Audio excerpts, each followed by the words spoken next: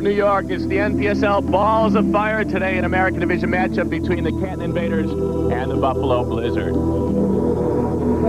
Hi, everybody. I'm Ed Vicinic. As always, it's great to have you with us on our weekly dose of NPSL Balls of Fire. Today, we've got the Canton Invaders and the Buffalo Blizzard. A unique situation in that both teams are playing their third game in three days. Very tough mentally, very tough physically, but every team in the NPSL has to do this at least twice per season. My partner, Art Kramer, has been through this before, and Art, you know it's tough to play three in three days, but it's especially tough when you're struggling, and that's what's happening with both of these teams. Well, Ed, the players have informed me this is their third game in 44 hours, so it's not even three days.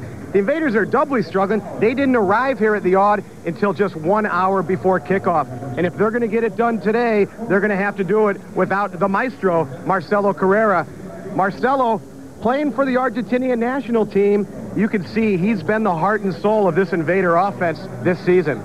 As we said, both these teams are struggling as we take a look at the American Division standings. The Buffalo Blizzard in fourth place, but their hold on that final playoff spot is slipping just a bit. Right. The key is the loss column. You see Buffalo with 16, Dayton looking for that last playoff spot with 19. If the Invaders lose, if the Blizzard loses here today, they'll be just two games ahead of Dayton in that loss column. When you talk about marquee players for the Buffalo Blizzard, the Pikuzinskis come to mind. Rudy and Randy fixtures here in Buffalo for a long time. But a guy that is a big fan favorite and does a lot of the work in scoring is Paul Dougherty.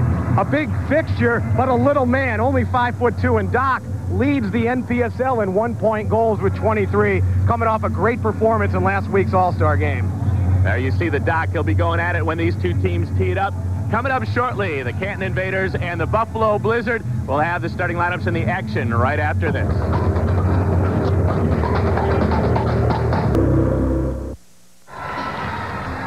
We are moments away from kickoff at the Aud between Canton and Buffalo. Let's get to the starting lineups. First for the Canton Invaders. Some surprises in the lineup, and it starts with goalkeeper Scott Fusco making his first start of the season. Defensively, Rico Marich, along with Scott Spencer. In the midfield, Doug Swanson, normally a defender, playing the midfielder here. Carlos Ledesma, a good scoring forward, will be up front with James Donaher.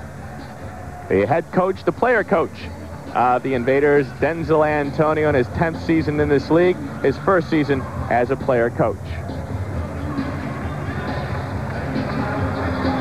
For the uh, Buffalo Blizzard, they will start with Rob Marinaro in goal. Mike D'Annunzio and Ernie Buriano will be there defensively. Andy Crawford will be uh, forward with Rudy Pikuzinski, and Randy Pikuzinski will run the midfield. The Buffalo Blizzard are coached by Jim May. May has many coaching and other administrative duties. He's also the VP and general manager of the team, took over this team three games into the season. A good look at the former keeper. And you see the guy next to him there is Jeff Robin, recently signed out of St. Louis. Robin, if you recall, that was an all-star last year in this same league. The officials this evening, Terry Campbell along with Carl Del Coral and John Oakes. Canton Invaders wearing the dark uniforms will move left to right. The Blizzard are all over Canton in this series. They have won both games this year, and there you see the scores, 13 to 6 and 23 to 13. And remember, five of these Blizzard players are former invaders, the two Pikuzinskis, the D'Annunzios, and Gino DeFlorio. And it's showtime. We're underway as the Blizzard try to snap a two-game losing streak while Canton has lost nine straight. Quickly off the start, it's Randy Pikuzinski, number 18 in white for the Blizzards. The Invader will take control and move it through the midfield. Doug Swanson, one of the few veterans on the Canton Invader side. Lost it to Ernie Buriano. Buriano plays ahead for Rudy Pikuzinski, the team captain in the corner. Rudy spins out of a mark, plays it backwards. It just eludes Dougherty, and then the shot by Randy Pikuzinski is blocked out of play. And that spin really fooled Fusco there as Rudy made a nice move to his right. Carome that one off the dasher board, just out of the reach of Dougherty. Rico Marich, 23-year-old defender. Two-man wall here for the Invaders, and Randy Pikuzinski will trigger it. Plays it out high. Ernie Buriano with a shot that stopped nicely by Fusco. Hey, right, right, go, right! And the Blizzard back on it. Here's Mike D'Annunzio, the younger of the D'Annunzio brothers. Big save by Fusco again. Andy Crawford that time on the doorstep, and Fusco has come up big in the early moments. Ball in the midfield, and Canton will have the ball. Boy, two great saves there by Fusco to start this game. A couple clever restarts there by the Blizzard. And watch this save on Crawford. A nice dummy there by Pikuzinski. And Fusco getting down nicely. Fusco with of record. Here's Dean Kelly. His shot. Fusco very aggressive in the early going. His points against is 21.07. He's only played 17 minutes prior to tonight's action, and Dean Kelly is a little hobbled after that collision. There's a shot by Bobby D'Annunzio wearing number 93 onto the foot. Uh, Paul Dougherty and Art, this lineup won't make any NBA teams with Dougherty and Bobby D'Annunzio as it gets deflected out. Dougherty at 5-3, D'Annunzio at 5-4. There's a look at Doc. And Denzel Antonio, the coach of the Invaders, probably saying, wait, I've only played this guy 17 minutes, coming, came up big three times already here in the early going. We are scoreless. As we get into the game, we'll tell you about a lot of the injuries that have fallen upon the Buffalo Blizzard. Antonio, one of the two All-Stars. They play it in, and Michael Collins will take down Pepe Aragon. Aragon, 5'11", 175 pounds, comes into the action with 40 points. Restart comes at the top of the D, just to the right a bit, and Antonio will size it up with Shannon Murray. Murray's left footer had squeaked through the wall, and Rob Marinaro pounces on it. Marinaro making his 11th start of the season, has a record of 5 and 4, and his points against is 12-9-4. 24-year-old. Marinaro is his third consecutive start. As I mentioned, Jeff Robin recently signed. Thought he might get the start this afternoon, considering the Blizzard played last night in Harrisburg and didn't arrive in Buffalo until 5 this morning.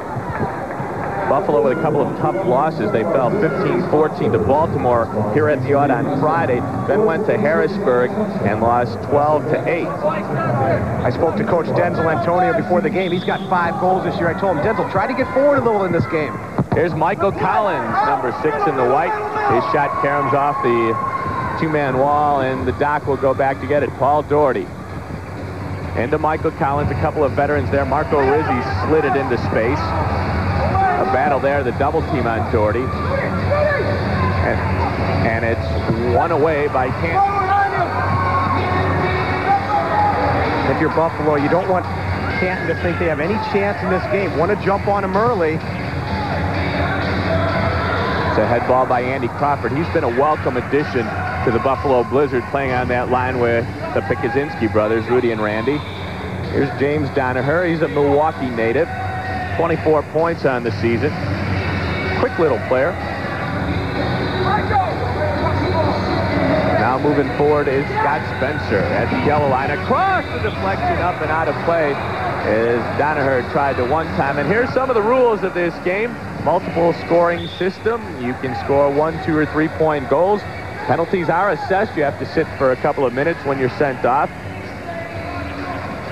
Three-point goals come outside that arc you'll see 45 feet away. Most goals will be worth two points through the run of play, and then anytime there's a shootout or a power play, it's a one-point goal. On a run, deflected off by Marich. So far, Canton has played very tightly and got some good saves from Scott Fusco to keep this scoreless in the first three and a half minutes of the game. Well, anytime you have a goalie making his first start, you want to make sure you get five players back behind the ball and help your goalkeeper out, blocking shots, staying with runners. Number 18, Rico Marich from Barberton, Ohio, which is not too far outside Canton. Left-footed shot that Marinaro had to move to his right to handle. Good look at the younger brother of Cleveland's Hector Marinaro. Hard three games in three days. You've had to do it before. How rough is it on the legs? Well, it just depends how old you are. And Canton, the younger team here, will have an advantage in that respect, but when you get to that third game, boy, you just have to play smart and make sure the ball does the work instead of you doing all the running. Pulled down from behind is Randy Pikuzinski by James Donaher.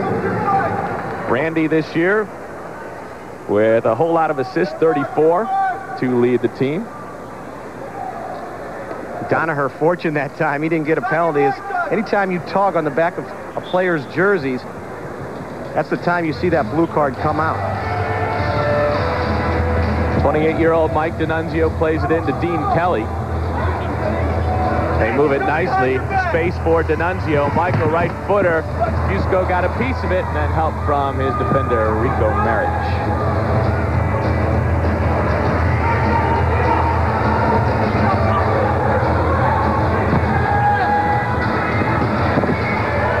Buffalo wins the ball in the midfield. Here's Andy Crawford. He was with Detroit last season. Through ball. Randy might have elected to shoot there, but decided to go to Dean Kelly on the far side. And after a battle, Denzel Antonio, number six in black, wins it away for the Invaders. They in turn lose it in the midfield. Marco Rizzi, just recently signed by the Blizzard, formerly Poppery of Canton. Right on the doorstep is Rudy, and it's stopped. Dougherty scores!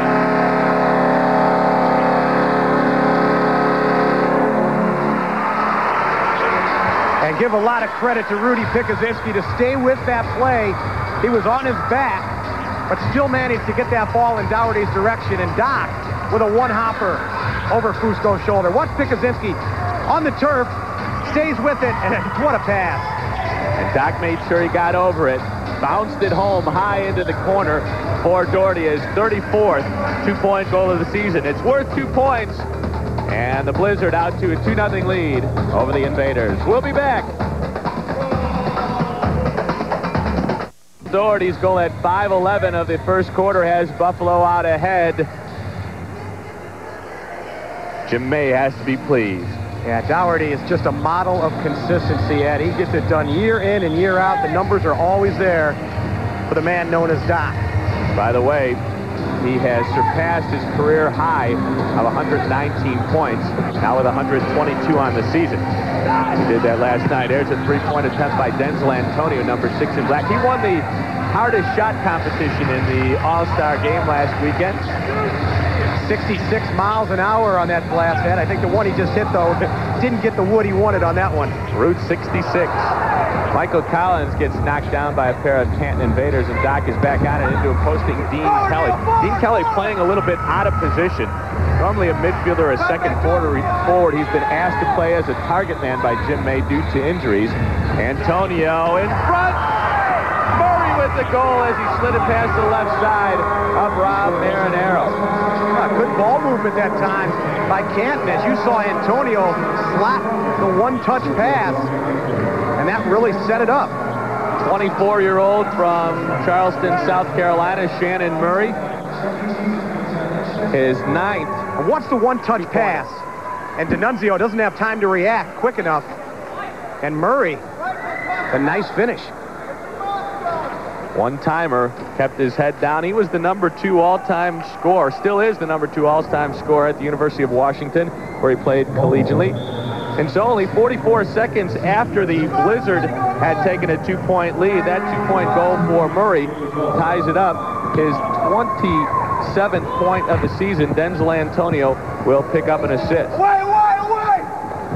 I think for anything else, for a young team like Canton that struggled all season long, not to let the Blizzard to get out running is big. And here's a three-on-two. Number four, Doug Swanson tried to get it across the penalty area. And the old vet, Ernie Buriano, there with a block. And Swanson has played seven years in this league, six with the Invaders. Last season, he played with Buffalo. Right now, the Invaders spreading the floor a bit. One-time shot by Spencer missed wide, and Marinaro able to corral the rebound. We saw Canton play two weeks ago, Ed, on the deuce against Cleveland. Good possession of the ball, but their finishing is just a little bit suspect. That's why they're they're missing Marcelo Carrera so much. The Invaders scored just 11.5 points a game. Only one team in the league worse than that. The Chicago Power scoring at 11 points a game.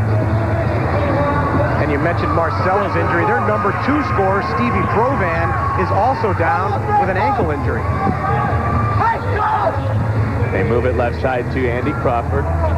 some jukes, played it across, who nobody was at the far post there. Nice shake and bake that time by Crawford. Play the ball to the far post. A lot of good things can happen. Buriano in for Crawford. Took some time to get it down. One time with a goal by Mike D'Annunzio.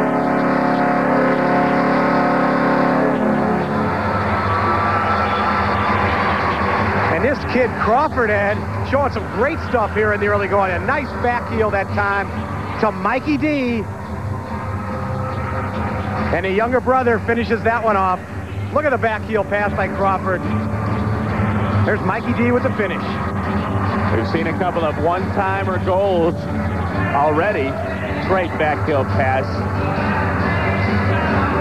Far post and it's home. A two-pointer for D'Annunzio is eighth of the season. It's a 4-2 Blizzard lead. We talked a little bit about the injuries that Buffalo has had to deal with. A couple of big ones. Probably the biggest, the Achilles injury to Gino DeFlorio that happened back in December when these two teams met.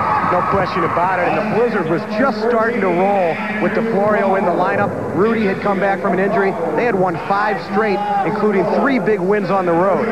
Gino averaging about five points a game when he went down. The other injuries, Pat Harrington, the goalkeeper. Now, DeFlorio's a guy that you know is going to score 60 to 70 goals every season for you. Also had injuries to Chris Kelderman. John Gardner's been out with a foot injury. Guy who does a lot of work in the midfield and works in the corners for you. Jim Wet May very obviously concerned about all the injuries that his team has had to deal with. Tangle in the Buffalo end, and uh, Michael Collins, number six in white, wins it away. But they lose the ball in their own end on a bad pass, and the invaders will come forward. Here's Neil Gilbert, number 26. Now to the player coach, Denzel Antonio. He's a former defender of the year in this league. Been in six All-Star games. Denzel into Gilbert. He turns. Now he's in a crowded three and helped it along with his hand. But the foul will be called against Buffalo.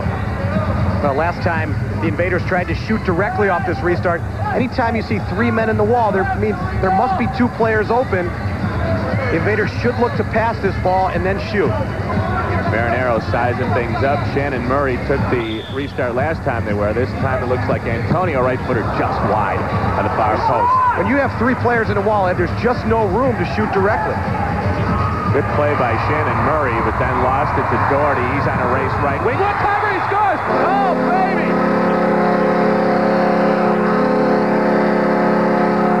could be a three-pointer. We'll have to wait and see. Well, the officials are going to take a timeout to talk about it, but that happened so quick, I don't know if anybody could tell whether that was two or three. A Doc with a bullet out of nowhere. Really, the work was done by winning the race to the ball. There's Terry Campbell, one of the veteran officials in the league. And he, they called it a three. Let's take a look. Oh, yeah. Well outside that arc. And I think he caught Fusco by surprise. That comes unassisted at 9.05. Watch him get his body in position. And great strength to hold off Antonio. Paul Dougherty with a two-pointer and a three-pointer already in this game. He's got five points in the first quarter, and the Blizzard out to a 7-2 lead. Good work by Spencer to keep the ball from getting back into his own end. A couple of Blizzard players behind the defense. Fusco in a battle with Rudy Pikuzinski. A foul called against the Canton goalkeeper. I think Rudy was looking for two points, or two minutes. Either or.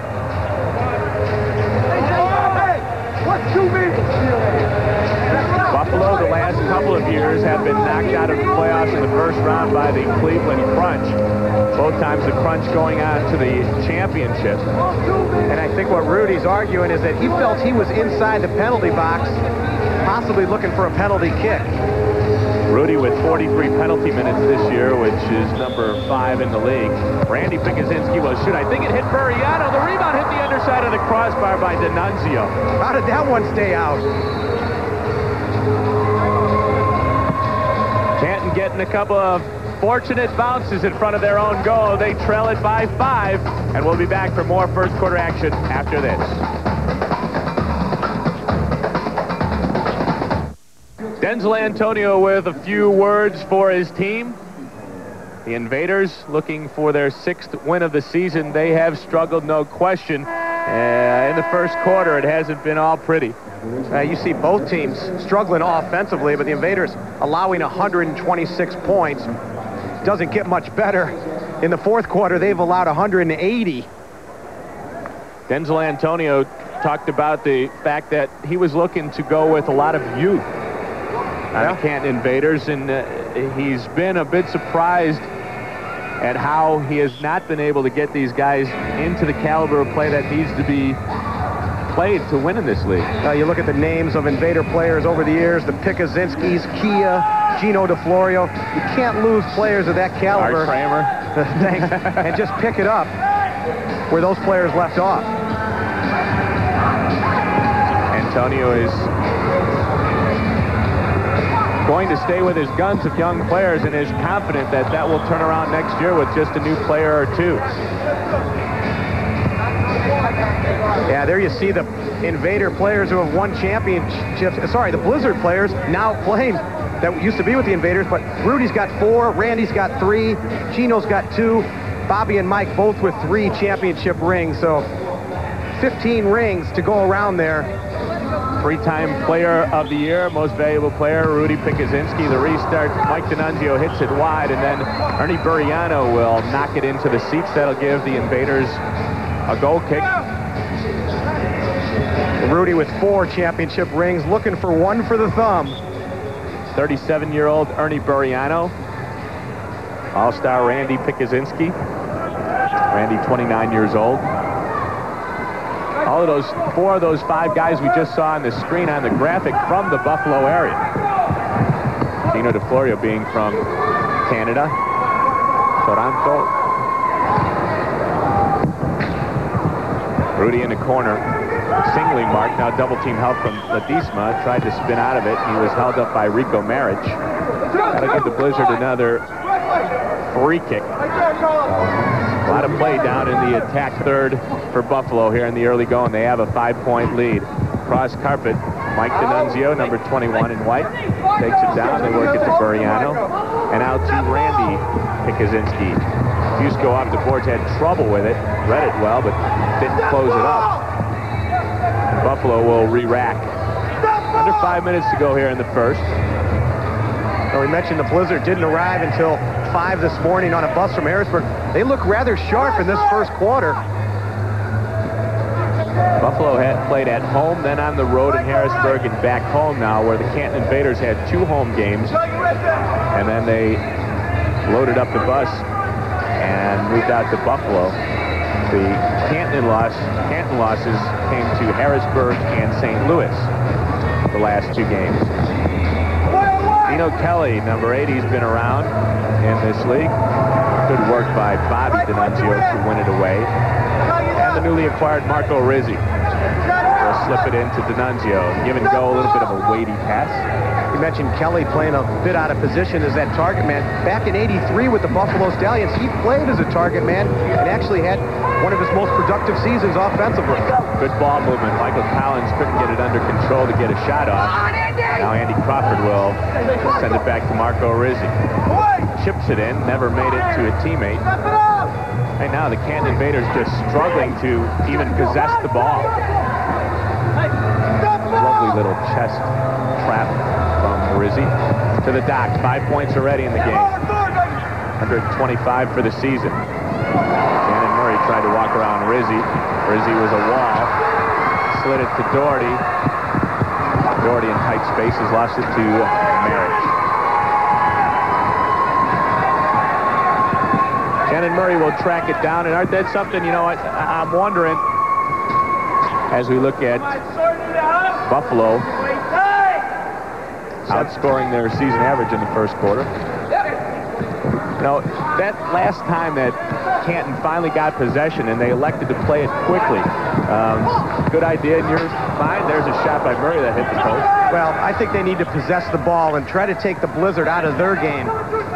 Nothing wrong on the road with keeping possession of the ball, taking the home team out of their game, taking the fans out of the game. But when you're down 7-2, a lot of times when you're under constant attack like the defense had been, you want your goalie just to hold it and let everybody get a, a breath. Exactly. It's how do you do that? Is you just don't rush forward. You keep possession of the ball, knock it around, string some passes.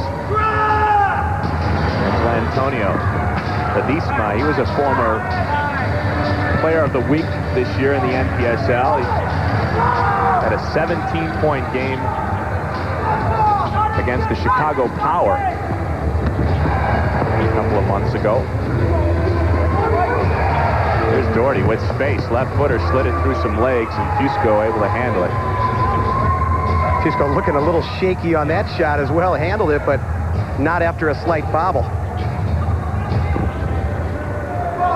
Neil Gilbert dumped it into veteran Doug Swanson. Circles back. Donaher tried to thread the needle. That got busted up. Blizzard defending back near their own yellow line. Risky pass from Gilbert as he tried to get it through to the far side. And perfect defensive position from Paul Dougherty to pick it off. Final minute of the first quarter, a 7-2 Buffalo lead.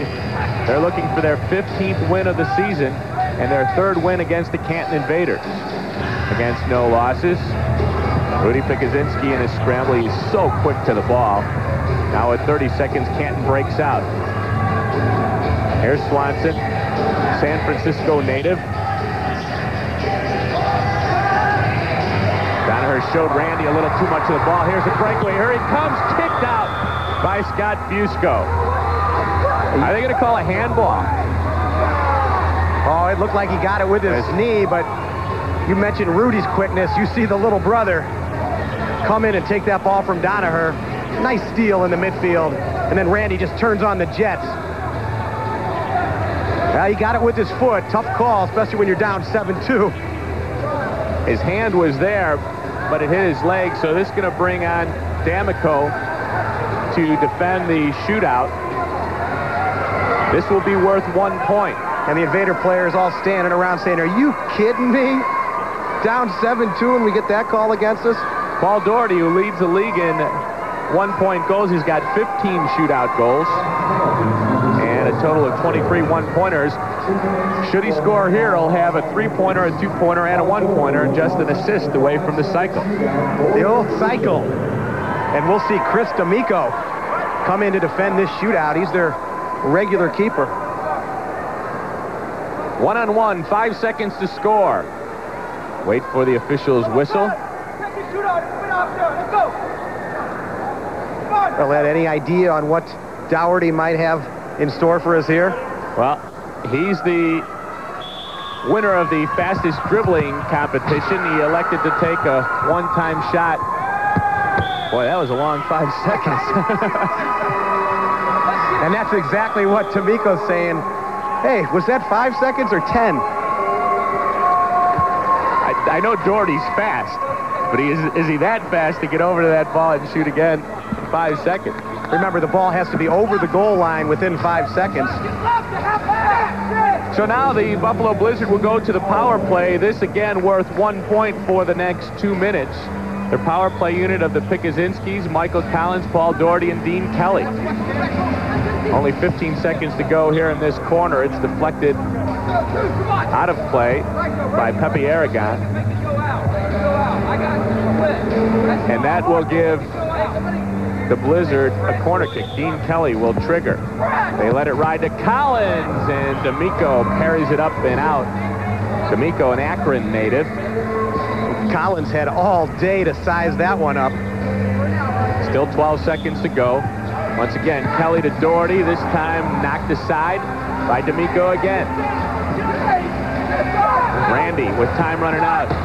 Just this oh. wide, and Rudy looking for the deflection at the far post, just couldn't get a shoe on it. And as the horn sounds end the first 15 minutes, the Blizzard hold a 7-2 lead. We'll go out with a Chris D'Amico save on the shootout to keep it a five-point deficit for Canton.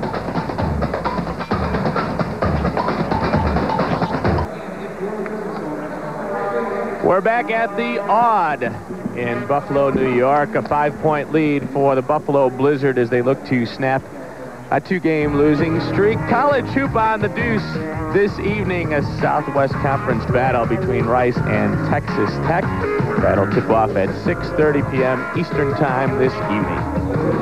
Denzel Antonio, first-year player head coach of the Canton Invaders next to Doug Swanson, another vet, Jim May of Buffalo. He was a fan favorite goalkeeper here in Buffalo in his indoor career.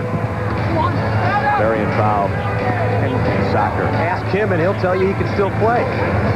This is power play soccer for the white-clad Buffalo Blizzard. Dean Kelly back out. Randy with a rifle. And Chris D'Amico will kick it aside, actually poke it aside with his hands, and the ball will bounce all the way back to Rob Marinaro in his own penalty area. Pikuzinski, Randy that is, can really fire it for a guy with such skinny legs. Randy, 5'7", 145 pounds, 29-year-old. Rudy, his older brother, is 35. Into the Doc, turnaround shot, he scores. Quick turn by the Doc. He's got a one-pointer.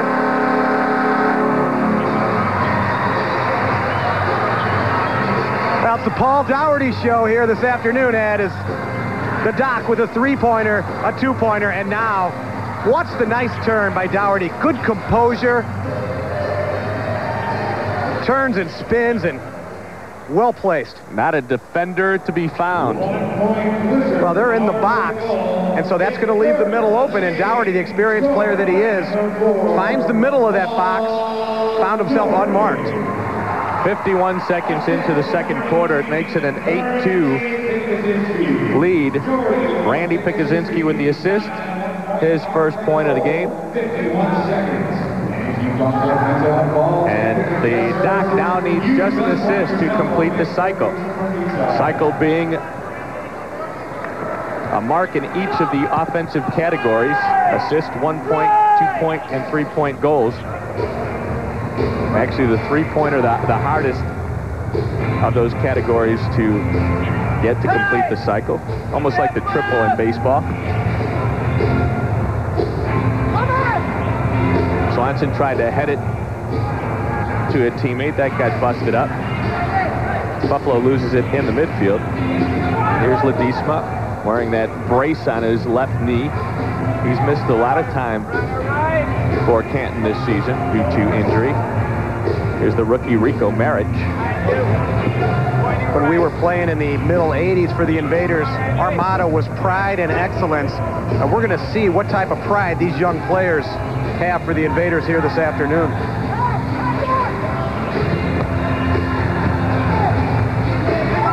Rob Marinaro takes it off the boards. Right now, Rob has a chance to solidify that number one goalkeeping spot. Now that Tony Meola has moved on to a star-studded career in acting, this is a big opportunity for Rob Marinaro.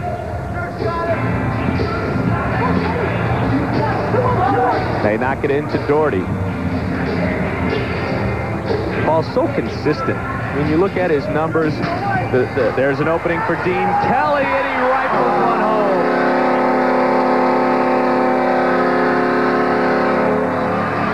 And Dino with the left foot.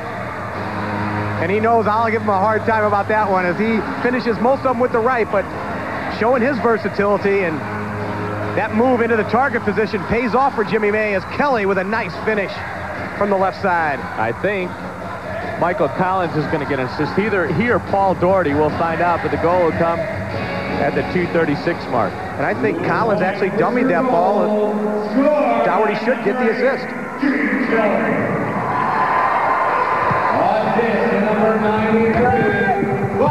Bobby D'Annunzio got the assist. So it was neither Collins nor Dougherty. Well, the cycle's going to have to wait for a couple minutes. But back to the thought on how consistent Paul Dougherty is. Look at his numbers across the board, 33 two-point goals, 23 one-point goals, actually now 34 and 24, and he's got 25 assists. I mean, it's not like it's all loaded up in one category. And Michael Collins almost went into the Invader bench there. This game was tied at two early in the first quarter. A run of eight straight points for the Buffalo Blizzard. Doc looking for a three-pointer. Now Marco Rizzi, number two in white.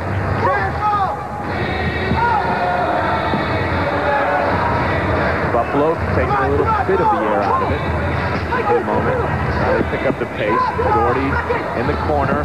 Got it across, and Fusco able to handle it from behind the Canton Invader goal.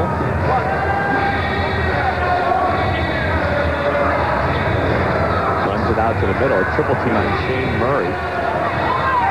Or Shannon Murray, that is. Good save that time by Fusco. Fusco apologizing for the distribution, I think, and then he came back. Uh, quick reflexes. Have to look at the shots on goal later on, but right now it's been all Buffalo. Marco Rizzi cut it back. Been a busy early going for Scott Fusco. Like we said, he had only played 17 minutes prior to this game for the Canton Invaders. Buffalo with a lot of experience on the floor. Not going to be an easy team to come from behind on. On for his first shift is Gerard Gregoire. Gregoire had an assist last night and the loss to Harrisburg. Right now, the Buffalo Blizzard trailing the third place Harrisburg Heat by four and a half games.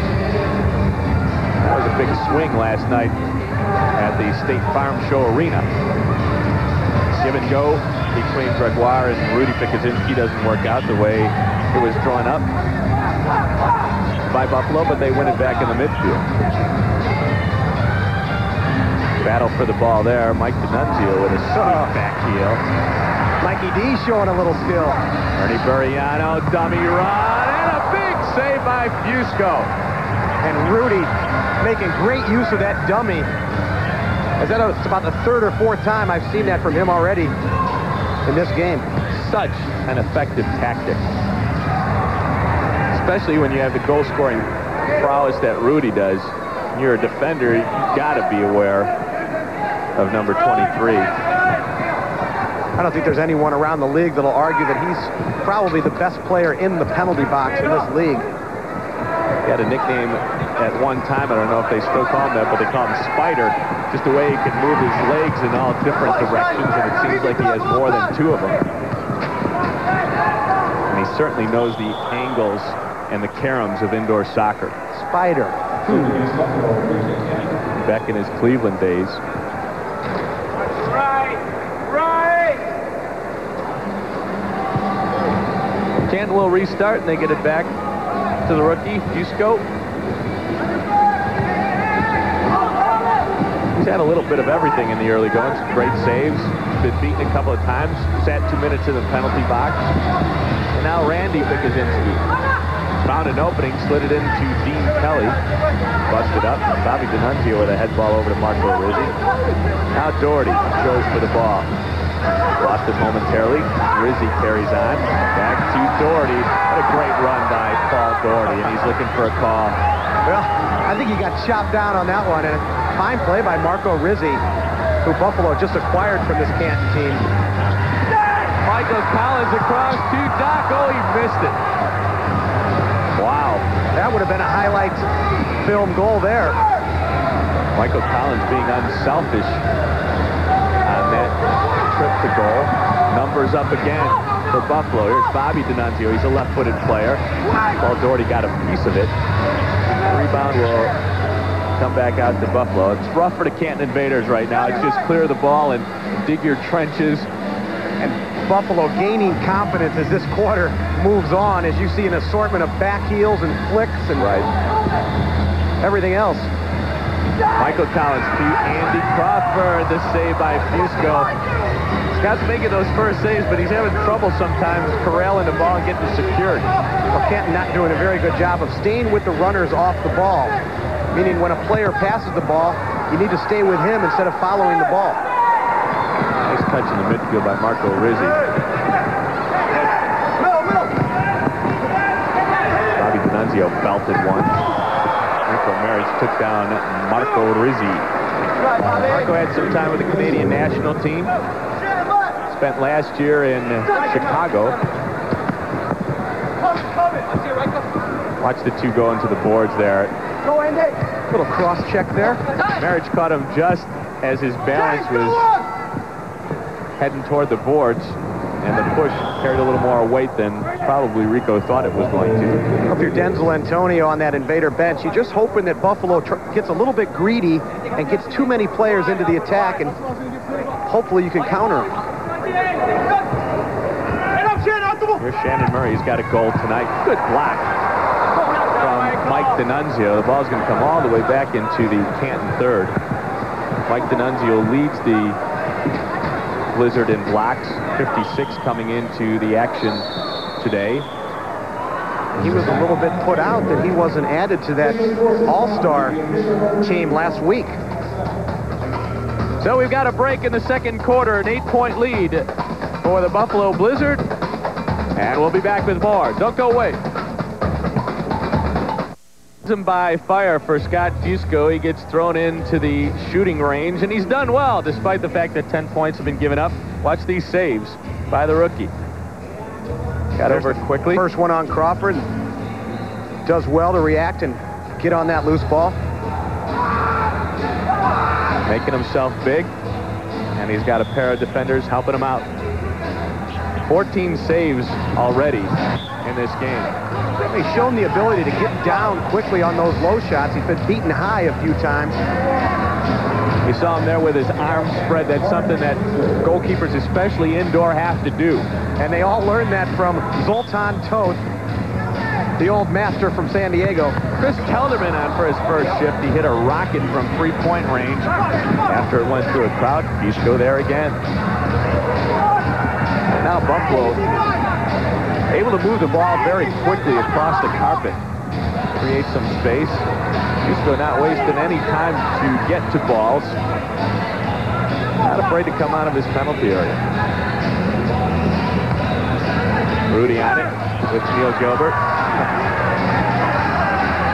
Little tangle in front of goal, and Drew Crawford not appreciative. He doesn't doesn't want to mess with Antonio. There's a shots on goal, Art. Yeah, pretty indicative of the way this one has gone. 27 to 5 and 10 to 2 on the scoreboard in favor of Buffalo. 25-year-old Neil Gilbert. Antonio really likes the aggressive play of this youngster. There's a good ball win there by Schulenberger, taking his first shift. Forward. Here's Chris Kelderman to Gerard Gregoire. And we're seeing Buffalo use a lot more faces in the lineup now as Dougherty can't catch up to the speed of that ball. Good move from Gilbert. Well, if you're Canton, you need to dig down deep right now. The last five minutes of this second quarter crucial if the Invaders want to be any part of this game. Once again, the Blizzard come forward in a wave. Kelderman, who's had a back injury, plays it across and deflected off Dougherty. Dougherty's got, already got three goals, and he could well have five or six at this point. You know, an eight-point lead in this league really isn't big, but when you consider the way this game has gone and the domination that Buffalo has shown so far, eight points is big. Yeah, especially when you're losing, you've lost your top two scores. Makes it extra big. So I'm sure they could use Carrera and Provan right about now. Some hustle there from D'Annunzio and Rob Marinaro to prevent an over and back. For those unfamiliar, you can't bring the ball back into your own third of the field, signified by that yellow line.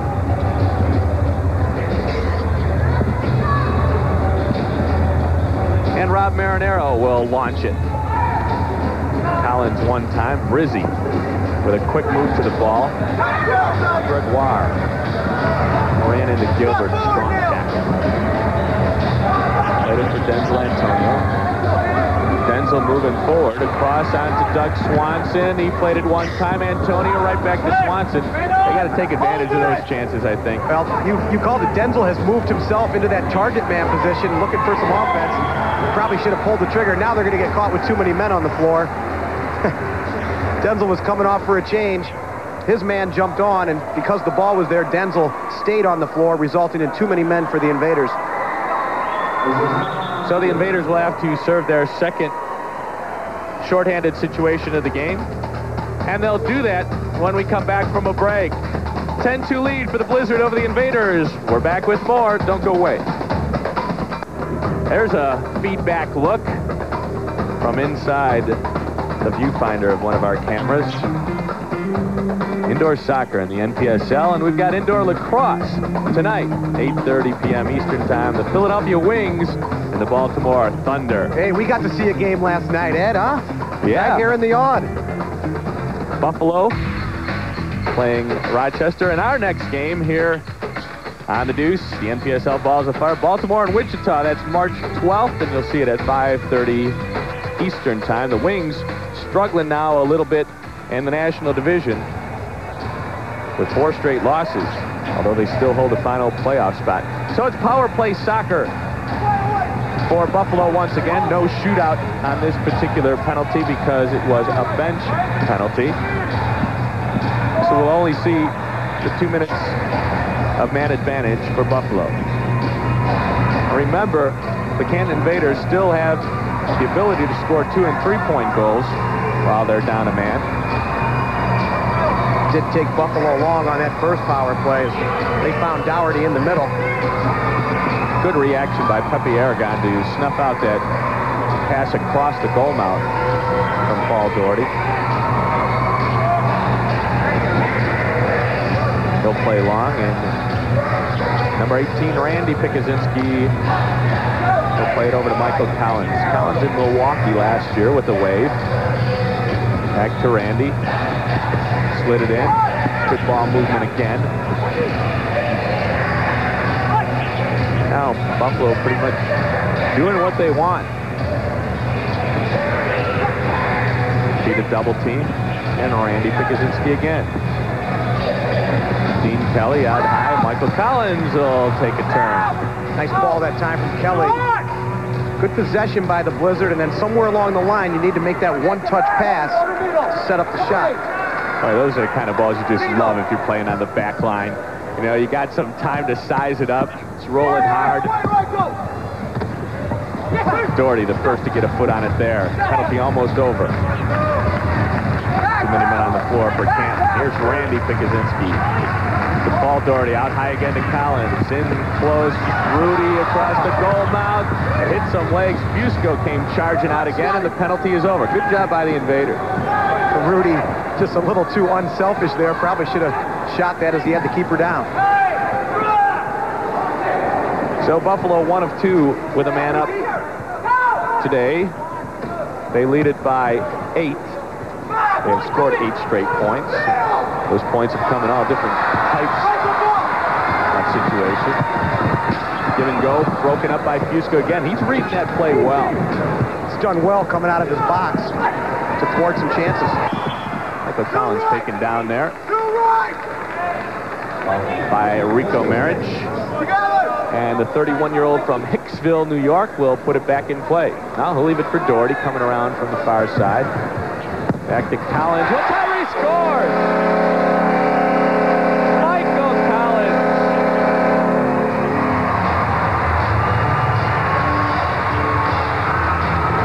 See the veteran of many years. And that's an assist for Dougherty as he completes his cycle. But watch Collins.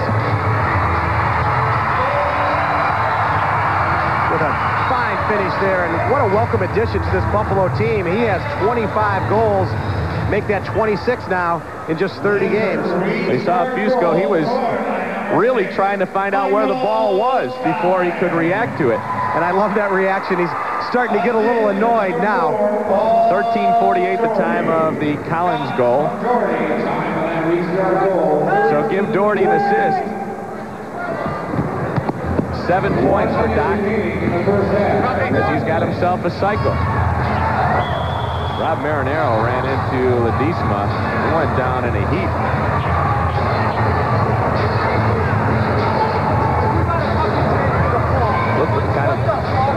I think it was inadvertent, Ed, but Blizzard players having some words with Carlos, but he came over to Rob quickly to try to tell him it was accidental.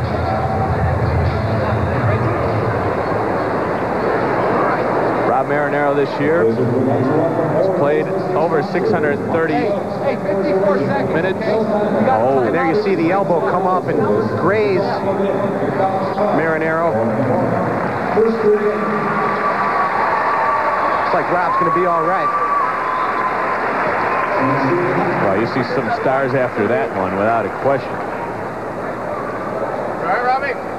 Rob's going to have trouble blowing his nose for the next day or so. I think he heard you there, Ed. Don't go away at halftime. We got a lot of great stuff for you. Look back uh, at last week's All-Star game right here at the Aud, then we'll get to see an interview with Tony Meola that we were able to pass along to you last week. And as always, we'll go into the locker room. Tony, the off-Broadway star. Tony and Tina's wedding. Canton with numbers if they hurry. They didn't react quickly enough. Forget Tony. I want to see Tina. I don't think Tony wants you to see Tina. Here's Rico Marich. Canton trailing by 10. Doug Swanson. Donaher inside the three-point line. It's blocked by Randy Pikuzinski. Randy among the Buffalo leaders in blocks. An indication of his two-way ability. Big save by Marinaro to his right. And there's the horn, and the first half is history. The Buffalo Blizzard, in a key win situation for them, they've run off 10 straight points. They have dominated and lead by 10. Don't go away. A lot of good stuff coming up at halftime. As we just told you, there's the score. We'll be back.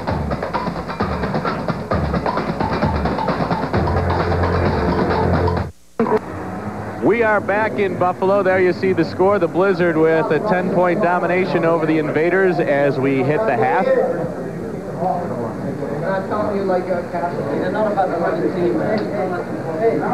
Head coach Jim May slipping out, but these guys have performed exactly the way he has wanted them to after two losses this weekend. The main guy this evening is All-Star Paul Dougherty with a cycle.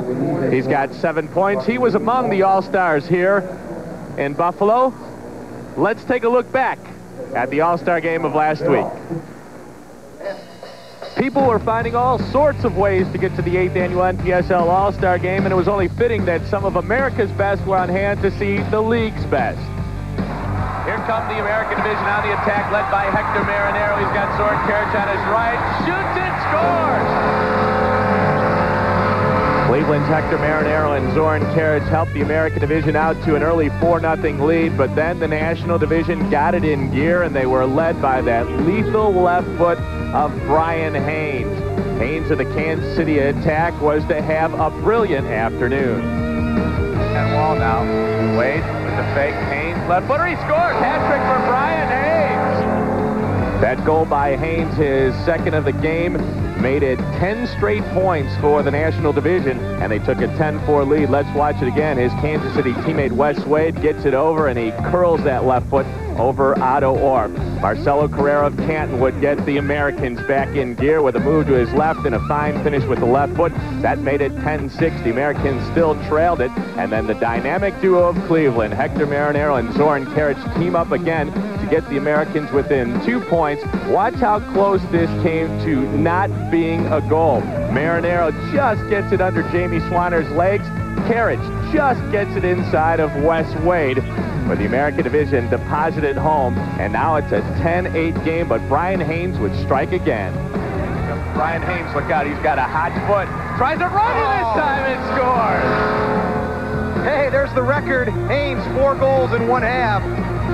That made it 13-8 as Haynes finishes with the right foot. And now watch Chicago's Kenny Snow. Slip and slide. Knows one timer. Look out. Snow scores on the bicycle. Wow. Well, it was Kenny Snow's only goal of the game, but boy, was this pretty. Watch him go horizontal, time it, strike it. That is great stuff. But the American Division would come back as Buffalo's teammates Paul Dougherty and Randy Pikuzinski team up. Pikuzinski sliding it past Jamie Swanner to make it 15-10. The American Division trailed by five, but they knew they had it in them to come back in the second half.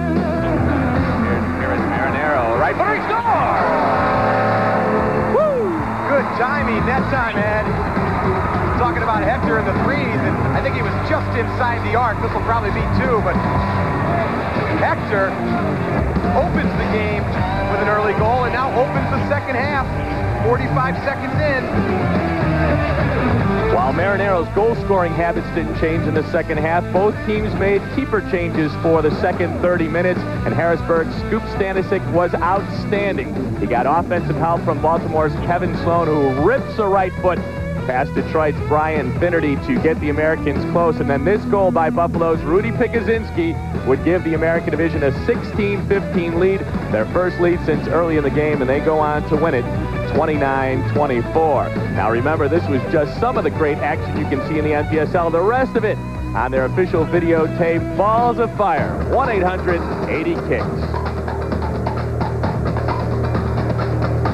We're back in Buffalo. We've got more halftime fun on the way. Tony Meola, part of All-Star Weekend. I had a chance to sit down and talk with Tony, and you'll hear some of that interview coming up next. Don't want to miss that.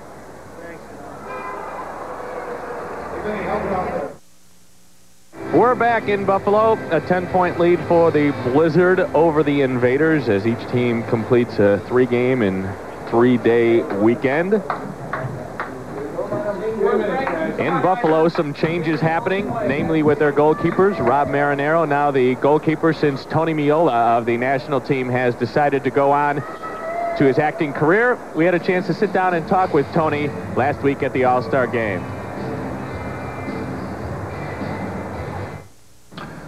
Well, I, I think I put emphasis on, on things like the boards and the glass and uh, so many shots during a game and all the different elements that you have to deal with when you come from outdoor to indoor.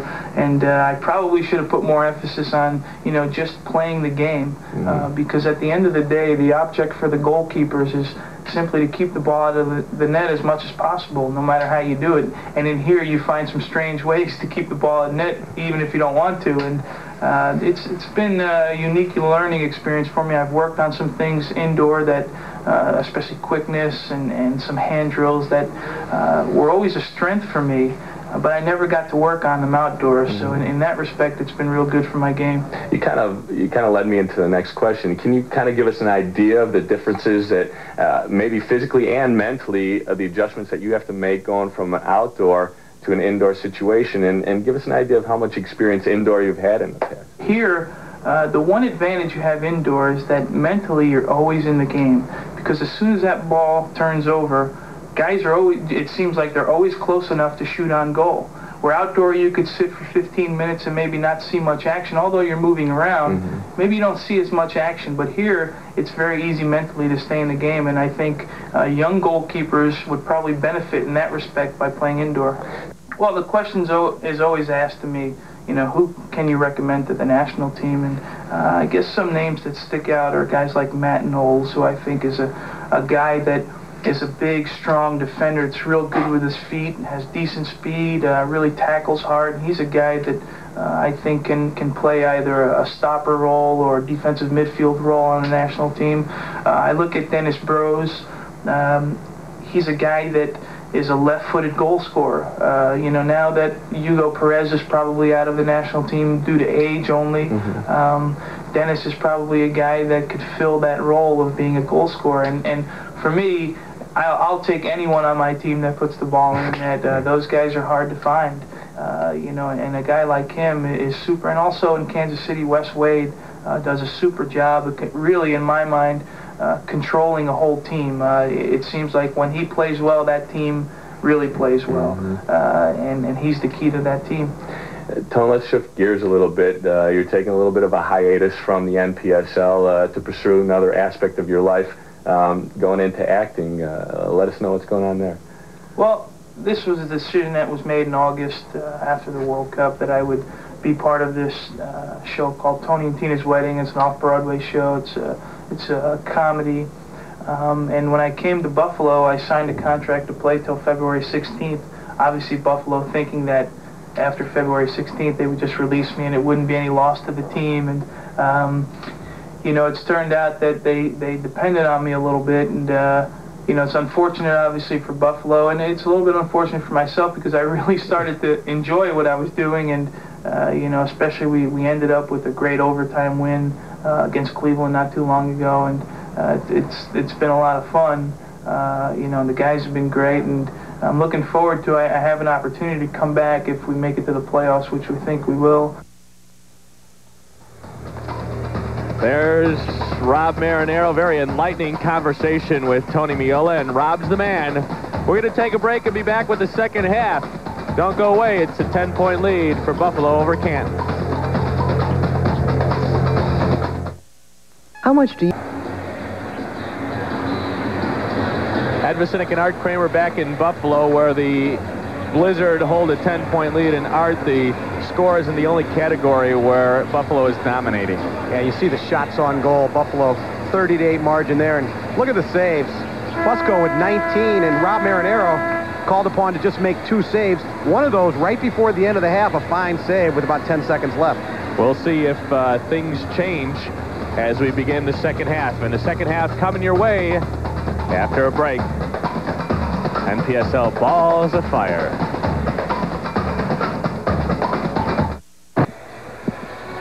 The second half just about to kick off here at the Aud as Canton in black will go left to right, Buffalo in white will go right to left, and it's showtime in the second half. Veteran Doug Swanson, number four, the Invaders will track it down with D'Annunzio trying to force him back to the midfield. They've come out colliding already. Rudy and Randy team up, but Danaher breaks it up momentarily. He got help from Rico Marich. Handball and could have been a two-minute call there. Intentional handball. Similar to a corner kick here, just off the spot. Randy on it. His pass wide of Mike D'Annunzio. We haven't seen Bobby too much in this game.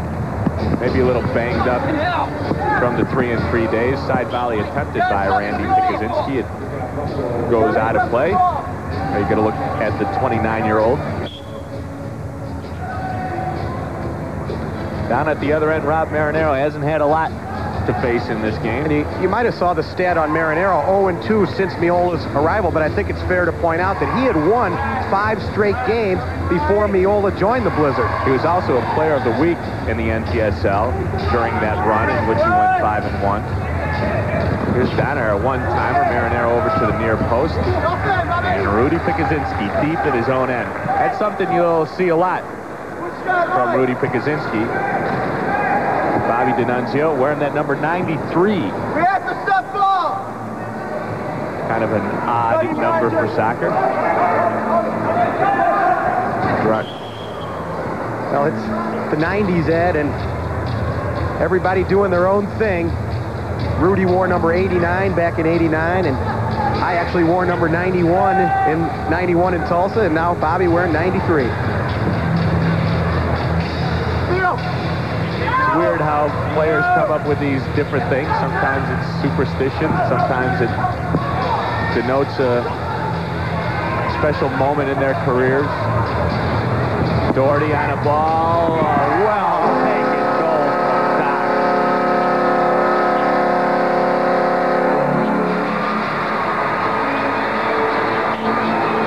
And Doc wastes no time here in the second half, and great composure. Almost looked like it was too easy for Doc. And watch how relaxed he is in finishing this ball. The pass from Michael Collins was feathered perfectly. And you're right, the composure, amazing. The rate of speed that Dougherty was moving toward the boards was really a lot quicker than it looked because he handled it so easily. But what makes Dougherty dangerous is you never see him standing still. He's always moving without the ball, and then also technically a very gifted player. The goal comes at 140 of the third quarter. Gil Gilbert slid one toward goal, and Marco Rizzi had slid in behind his keeper to help out. Michael Collins got the assist. He's got three points tonight. A little dangerous there between Denzel Antonio and Scott Fusco.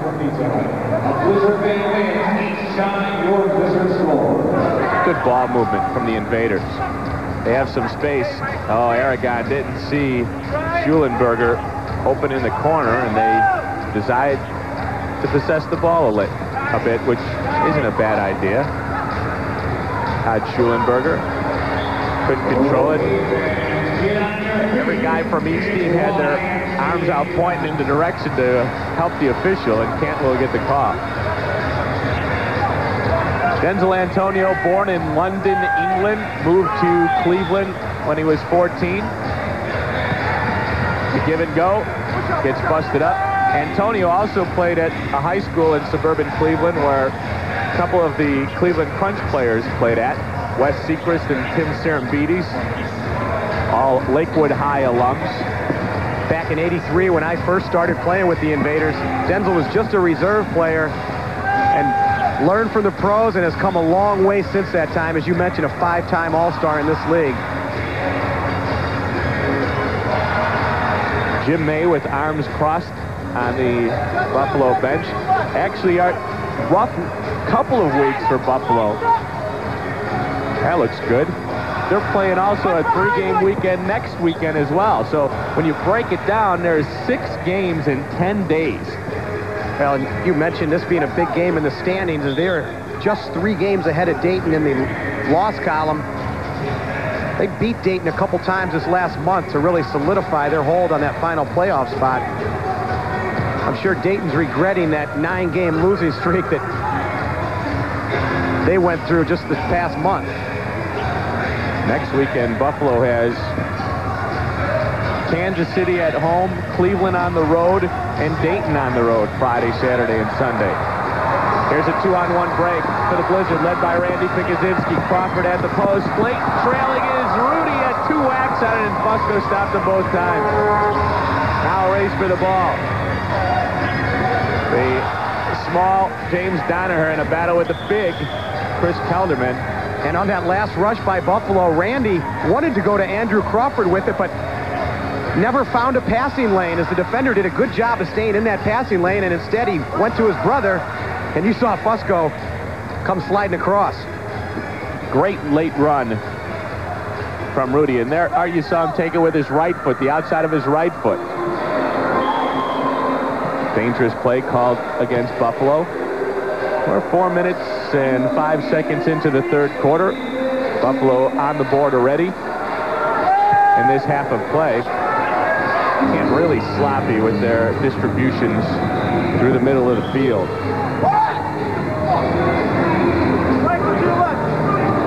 Rudy got it in front, the pass behind Crawford.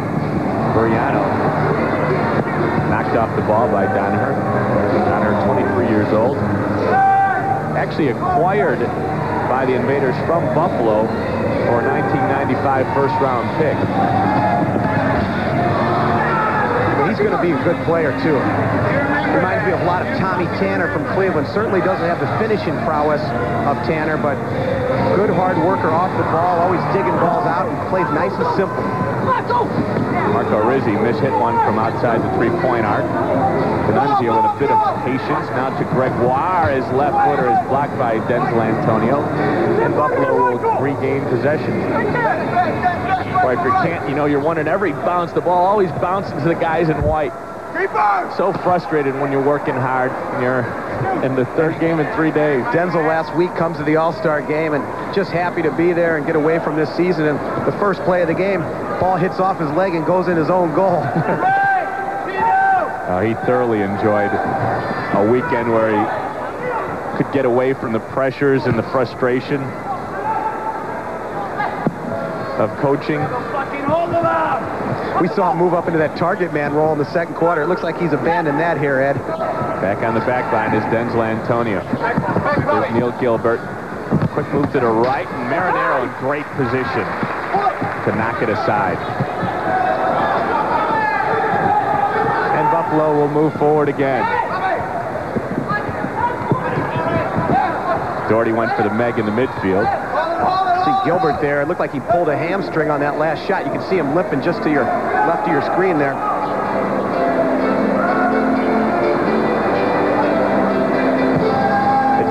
The Doc with some acrobatics. Help from Gerard Gregoire.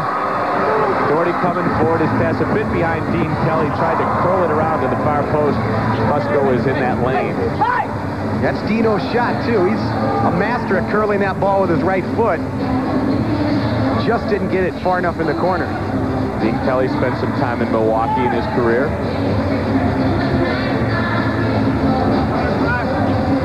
Played ahead Doug Swanson, who is also moving a bit more forward than normal for him. Been a backliner for the Invaders this season. Gilbert tries to hold off Rudy, but Rudy Pikuzinski relentless, and there he fouls Donaher. As you mentioned, Rudy with 43 penalty minutes.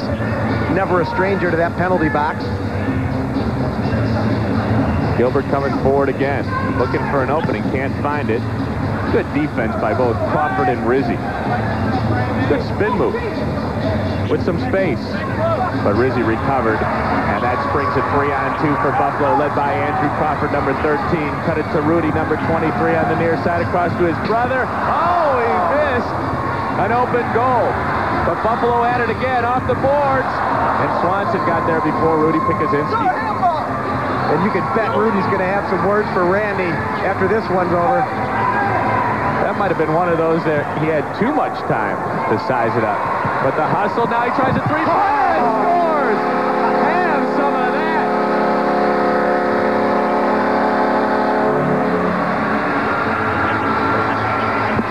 Well, Randy makes amends with a nice sliding tackle to win the ball in the midfield, and then a three-pointer as he caught Fusco out of the goal. Randy Pikuzinski's first three-pointer of the season. 15-point lead for Buffalo. First three-pointer of the season ups the Buffalo lead. The Aud doing double duty today after this game. The Sabres will play here tonight against the Rangers, and we've got hockey on the deuce coming up. On Wednesday, it's the Chicago Blackhawks and the Anaheim Mighty Ducks. That game begins at 10.30 Eastern. And on Thursday, it's the San Jose Sharks and the Toronto Maple Leafs at 7.30 Eastern Time face-off. Watch the vision of Randy Pikuzinski. And look at the hustle to win that ball initially, and then that ball with absolutely no spin just finds its way under the bar. Randy with four points tonight, giving him 75 for the season. And I really like this kid, Randy. In fact, I like him so much he's standing up in my wedding in May. well, that's a way of showing your affection. You know, we had a chance to sit down and talk with Rudy Pikuzinski at the All-Star Weekend, and he was just so proud and happy that people finally recognized the talents of his brother. There's a goal for the Canton Invaders as they stop a run of 15 straight points by the Buffalo Blizzard. Shane Murray in on that, as was Marlo Campbell. Rob Marinaro. There you see, look out. What can I do? What can I do when I get one shot every 10 minutes? It's going to go in. But I think that ball actually hit off the Buffalo defender. It might have been Michael Collins knocking that one into his own net. Let's Shane, take another look. Shane Murray on the run. It was off Michael Collins.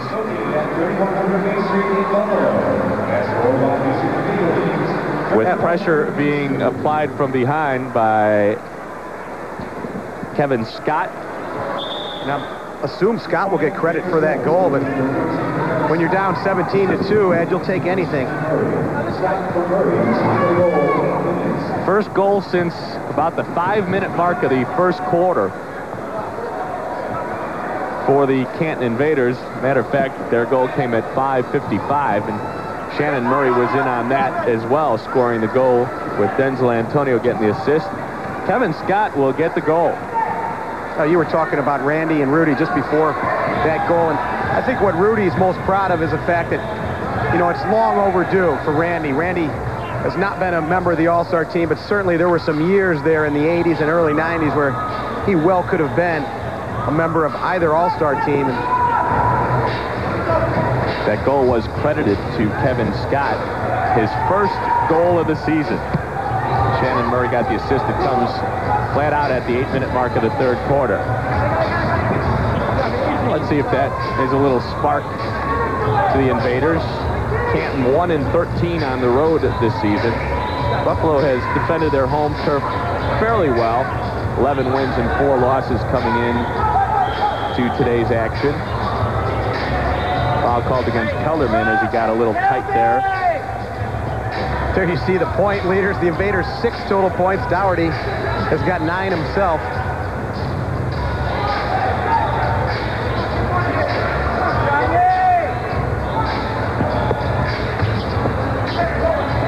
Now you take a look at what these teams have done, what Buffalo has done at home and on the road. That's a real surprise, their road record. They really struggled. You want to be a championship team. You want to play 500 ball on the road and then right around 75, 80% at home. And Blizzard has had some problems on the road. Art, do you think that has anything to do with the change in field size when Buffalo goes on the road? This is one of the bigger floor surfaces in the league. Yeah, it well could. There's a lot of arenas, as you mentioned, that are a lot smaller than this one, but certainly with their experience, you would think they would have a better record on the road. They even get that record a little bit close to 500, and, and, Buffalo is a few notches higher in the standings. Marinaro aggressive to the ball. And over the top of Pepe Aragon. There's an aggressive play by Ledesma. And now three on two again. Numbers two on one. It's Crawford. Fusco out of his goal. Boy, this game could be a lot more lopsided than it is. Not for the work of that rookie and the invader goal. Collins wins the ball, plays the boards, try to get it out high. Broken up by Canton. And here comes Donaher away. He tries to shift gears, but three games in three nights. Sometimes it doesn't make it. A couple Milwaukee natives there as Kelderman knocked it away from Donaher. Here's Randy Pikuzinski, fakes the three-point. Got it out to Ernie Buriano.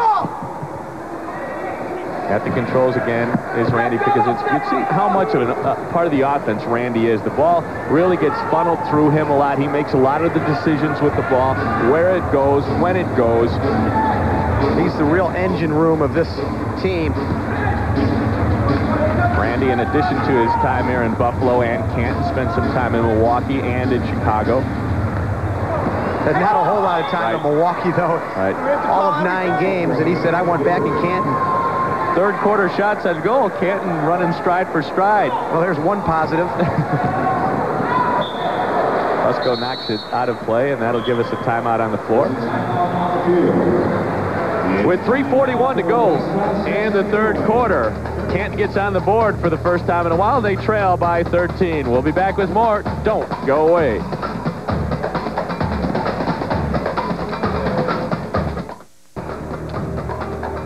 Get a pen and paper out. Get your calendar, jot down the upcoming Balls of Fire. Our next telecast will be from Wichita. Baltimore and Wichita will play. The Baltimore Spirit, the Wichita Wings, then on the 19th in St. Louis and Harrisburg, and then the divisional playoffs begin at the beginning of April. and possibly the return of Tony Meola to this Buffalo lineup for the playoffs.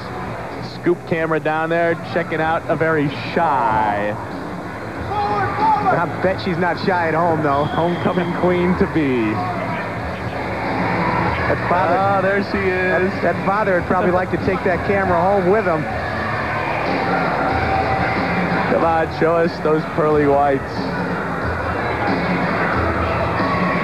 We're late the third quarter and a restart for the Invaders.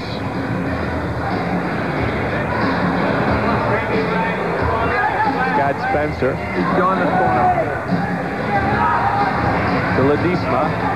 Some nice ball movement happening the last 15, 20 seconds or so for Canton, and then they get a little greedy and try to make one of those almost impossible passes.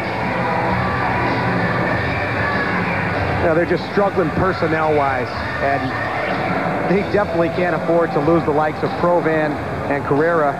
You consider last season they had Kia and Gino DeFlorio. So offensively last season, they were quite powerful, but some of the Canton Invaders. This will be the third straight year the Invaders have failed to make postseason play. A lot of things happening in the next couple of years in the NPSL. Uh, first of all, the addition of Tampa Bay that will begin play next season.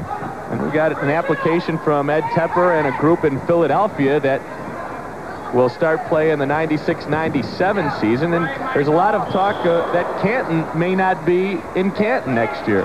Yeah, there's rumor that they could move down the road to Columbus and could be seeing the end of an era here with the Invaders. The last time the Invaders won a championship was 1989 when they beat the Chicago Power. Oh, there's a goal from Donaher, and that's going to be worth three points. I think that one caught Marinaro a little bit by surprise as that ball ricocheted off the post and then off of Marinaro's back. And that'll be a three-pointer. Struck well. Shannon Murray in on it again. Donaher with his first three-pointer of the season. He's got 27 points now. Unlucky on the bounces for Buffalo, but Canton's got to be happy the ball bounced their way for once. No doubt about it. Hey, a couple three-pointers, they can get right back in this thing. Shannon Murray with the assist there has a goal and two assists. He's got four points. Came into the action with 25. Up that total to 29 now. A lot of outdoor experience for Shannon with teams like the Colorado Foxes and the Seattle Sounders. 24-year-old. Yeah, really happy there for James. Score that goal. Know his family well. Father Mike, a good coach in his own right, in Milwaukee area. Goal came at 12.51 of the third. So the Invaders on a little run of their own, scoring the last five points. A run knocked away by Kelderman into Shannon Murray. Murray, just a very busy player in the penalty area, checking in, checking out, receiving the ball, one touching it back outside. Battle for the ball between Kelderman and Schulich. And I sense a little letdown here on the part of the Blizzard, Ed, to close out this third quarter.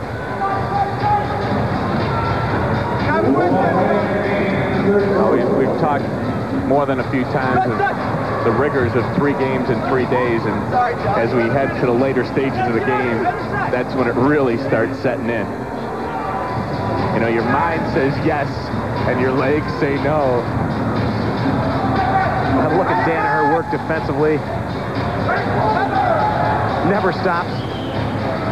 Number 11 in white is John Maisner, 25-year-old from Hackensack, New Jersey. One of the new kids on the block, so to speak, for Buffalo. He's played well in the short floor time he's been able to get this season. One of the bright stars of the future for the Buffalo Blizzard. Less than 20 seconds to play in the third quarter. 10-point lead for Buffalo. That's where we were at halftime. The score was 12-2 at that juncture. They drill it in, try to get some kind of attempt toward goal before the horn. Swanson in a battle with a former teammate. Ricochet is off. It's blocked by Crawford. We hear the horn. And three quarters of this game complete. Michael Collins has a goal and an assist tonight. Scott Fusco has played well, but he trails by 10. We'll be back for the fourth quarter. Don't go away. NPSL Balls of Fire. Gifts from above here in Buffalo. Take a look at that face, Art. That's HR Pufnstuf. He's your friend when things get rough. And things are rough right now for the Invaders. And a new goalkeeper for the Buffalo Blizzard, that's Jeff Robin, who will see his first action for Buffalo. Denzel Antonio, the head coach of the Canton Invaders. Rob Marinaro plays three quarters. He's had a long weekend. And Marinaro's hoping that Robin gives up less than 10 points because he still wants to get the victory in this one. Jeff Robin, his stats this year, one second of play. I think that was probably on a shootout. I think it's safe to assume. His PAA art, 3,600. Yeah, that's about as high as I've ever seen, but it just, it's going down every second we play. That's exactly right. Robin came in to face a shootout. He was scored upon, hence the astronomical points against average. You don't get any contract bonuses with a PAA of 3,600, do you? Not hardly. hey, look at that. Our cameraman getting in the action down there. He's doing double duty. Might see him in a black jersey soon. Canton coming out of their own end. Donaher has played well. Built very low to the ground. Donaher, 5'4", 165 pounds. 23-year-old. Here's Rico Marich will restart it. Marich's first game was on the 27th of December. And he scored his first goal against Milwaukee on January 27th. Here comes Dougherty, a nine-point night working as we speak to Maisner. He's in a crowd, tries to find his way to daylight. Can't do it with the ball. Two on one if they hurry. Dougherty with a very effective little push. Come on, there you go, Michael. Bench. One little guy pulling down another one. Step up, Michael. Good look at Swanson coming forward. I think that's all Dougherty needs is a two-minute penalty to complete his stats for the day. Backside, backside. Follow that runner. Kevin Scott, he's got a goal. His first ever. Picked clean by the right foot of Doc. Quits. Oh, and Doc came up lame there right at the end of that shift. Canton coming forward. Shannon Murray, he's had something to do with every Canton goal in this game. Once again, the Invaders playing without their two leading scorers, Marcelo Carrera and Steve Provan. Carrera on duty with the Argentine national team indoor. Race for the ball. Provan off of his line to get it. Quick distribution. Doc looks all right.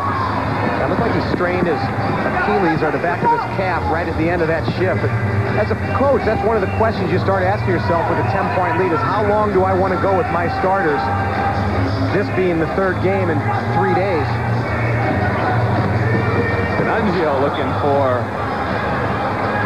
another goal from long range. Mike D'Annunzio. You know, Bobby D'Annunzio, Mike D'Annunzio, the Pikuzinski brothers, they've been playing together since they were wee little tots. Actually, they played against each other as the D'Annunzios played for the Italian team and the Picks played for the Polish team for their dad and quite a rivalry over the years. Because their father was a great player and just ask any of the many older fans in the stands who saw Rudy Sr. play, they said, boy, this guy was one heck of a player. Buriano had trouble with that. Still able to connect the pass over to Mike D'Annunzio. Gregoire tried to one-time it to a trailing Crawford. Tough ball to handle at the chin. Believe it or not, there's a Rudy the third, Rudy's little boy, who's another good player. So maybe in five or ten years we'll hear from him. Picked off again by Randy. Crawford has easy pickings and scores.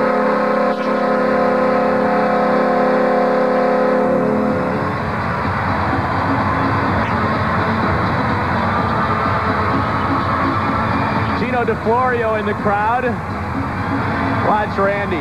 Look Quick at Randy, a nice cut to turn Scott around, and Crawford makes no mistake as he notches his second goal of the afternoon. He gets all the flow headed to his left and cuts it back to his right. Fusco had no chance. Randy Pikuzinski now with five points tonight. And Andrew Crawford ups his point total. Three points tonight. 323 to the time of that goal and the Blizzard back to a 12-point lead.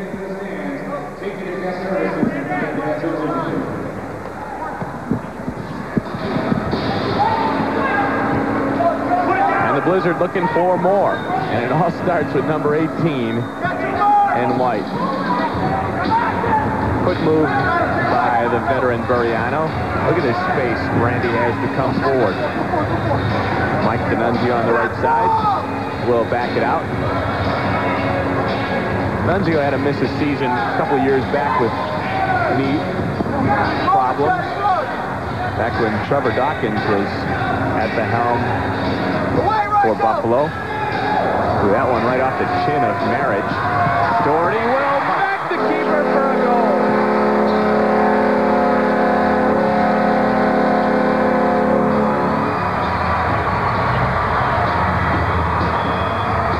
Eleven points for the Doc. It's the Doc Show here this afternoon. And oh, Randy using the Canton player's head as a little pinball machine there, and Doc slaps it through the five hole. Three assists for Randy Pikuzinski. Watch the touch on the pass. I like the play off the Canton defender's head. As an 11-point night happening for Paul Dougherty, we'll take a break. The lead gets bigger for Buffalo.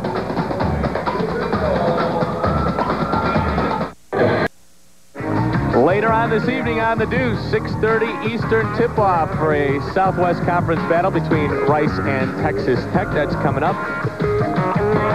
And the madness is just about to start here. March is right around the corner. Paul Dougherty now with 11 points, giving him 131. He started the day as 11 on the scoring list. Right now, depending on what's happening in other games, he has moved all the way up to sixth and only five points behind Wes Wade of Kansas City. It's amazing what an 11-point game will do, huh? Rough afternoon for this rookie, but he's played well. He hasn't done that poorly, and we saw Chris D'Amico earlier in a game on the Deuce where he lost 33 to 7 and played well. This play, the play is really breaking down in the midfield for Canton. They're giving up a lot of balls that are square passes that are being picked off and allowing Buffalo to come forward with numbers. Well, that's where Marcelo really helps him in the midfield and controlling that ball. You know, and if you're playing defense, Art, and you gain possession, you start running forward, and all of a sudden the ball's picked off in the midfield, and you got to put on the brakes. Now the forwards have to get back. You have to get back. You have to sort things out. It's just a, a big mess when you can't control the ball through the middle portion of the field. Denzel rockets one into the seats. He had nowhere else to go. Uh, before Detroit's Sean Bowers was putting up those 100-point, 100-block seasons, Denzel was the man. He had an 80-point, 80-block season to set a standard at that time when he won the Defender of the Year award. The restart will be put in play by Michael Collins. He thought he saw an opening. And there was a block by Denzel. Outside of the right puts it to midfield. Gets dumped in Crawford in a race. Run away from goal by Kevin Scott, number 13, Ooh, a bad tackle from behind from Kevin Scott. Denzel took it off the side.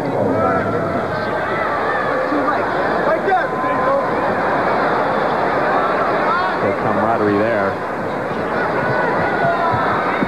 Collins will try it again, and the pinball machine continues in front of the Canton Invader goal.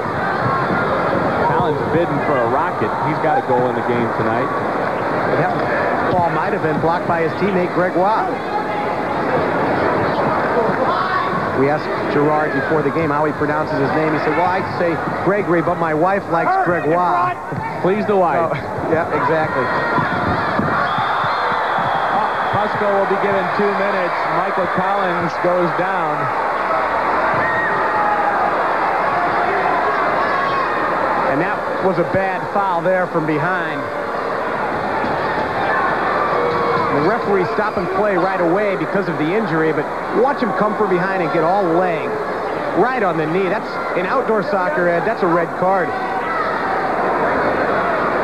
The referee taking note that possible injury. If not, he could have played on because Buffalo certainly had a goal-scoring advantage there. Michael Collins will be lucky to come away with just a bruised knee or maybe a little bit of a, a hyperextension. And there's Jimmy May asking, come on, it's got to be a red card, but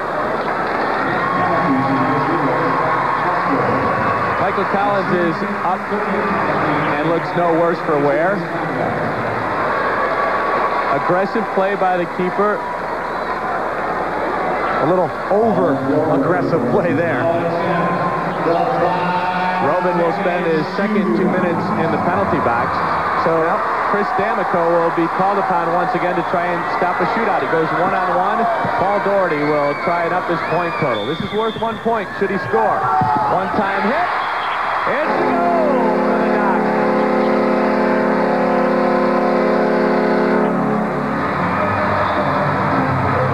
Well, we saw Doc try to go low on his last shootout. This time he elects to go high on D'Amico.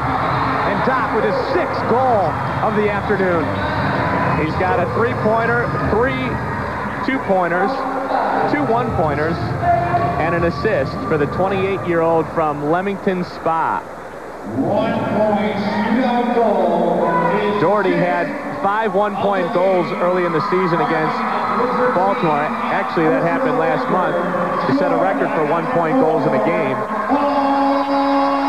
He is having an afternoon. And one of the big fan favorites here in Buffalo.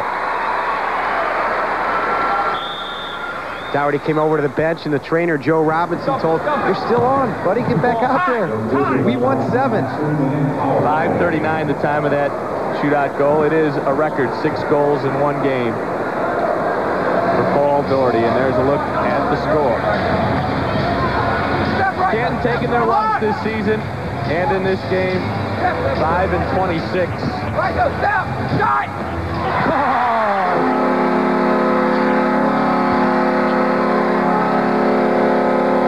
The magic continues. Yeah, when you're hot, you're hot.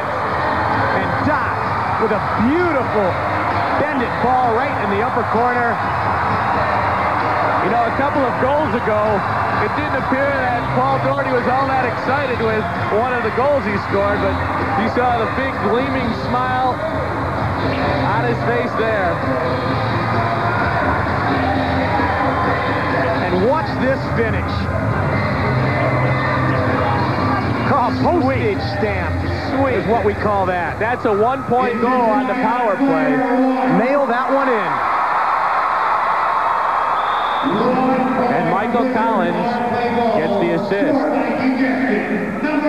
Michael Collins now has up his point total to 69.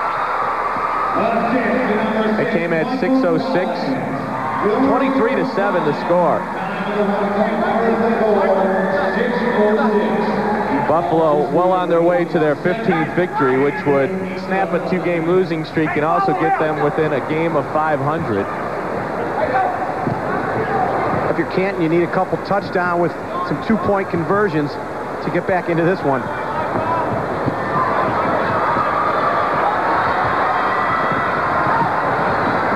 Randy Pikuzinski will collect. So confident on the ball.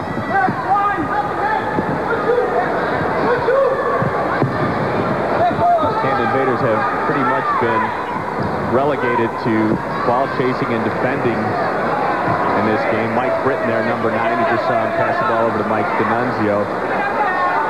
Britton on for his first shift, and Ledesma come up sore. And a nice sportsmanlike act by the Buffalo team to knock that ball up in the stands when they saw Ledesma down with an injury. And you'll probably see Canton just knock it right back to Buffalo here. Actually,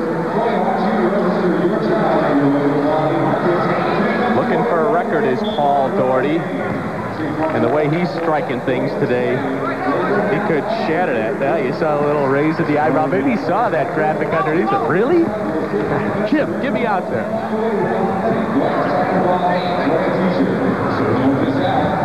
Swanson plays ahead, a race. Strong move on the ball from man! Danaher. Right there in front of you, Randy. Had trouble with it there. oh, Danaher is playing like this is a one-point game. Well, he's playing against the team that traded him.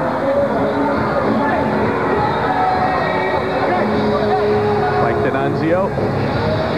Buffalo really not in a position to be able to try to develop a guy like Donaher at this time, and I'm sure that's why they traded him to Canton. Because they're looking to win right now.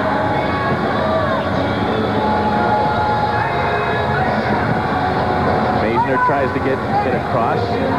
There's the man. Dot. Across. Randy kicked out by Chris D'Amico. About halfway through the fourth quarter. Closest this game ever was was 2-2.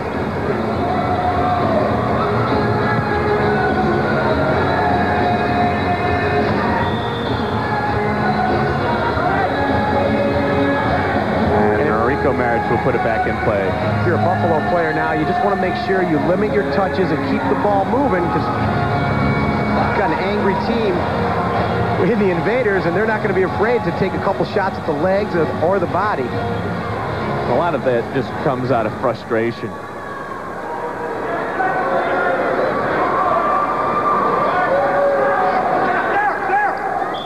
From the yard, Denzel Antonio chips it. Hit high for Schulenberger to handle. He dumped it back back close. Back for. Shannon Murray. Stay with Michael wide. Post up.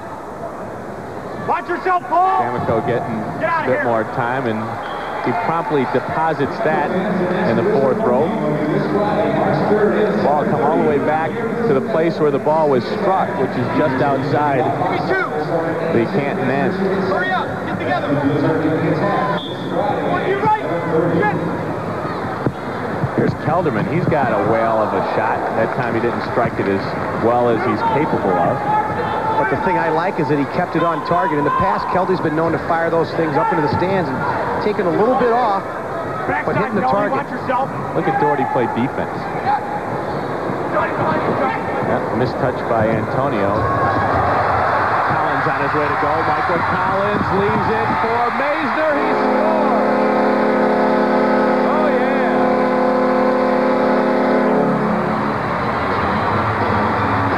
And Ed, that's where I like the double assist because you saw Dougherty start that play with a beautiful through ball to Collins. And then Michael with eyes in the back of his head to see Mazer coming down the right side.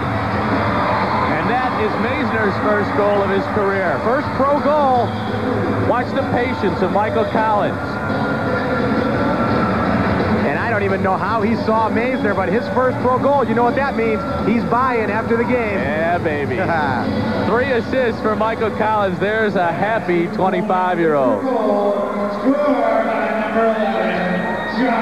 And frustrated. Unhappy Denzel Antonio. You think they told him that? That he's got to buy now after his first pro goal.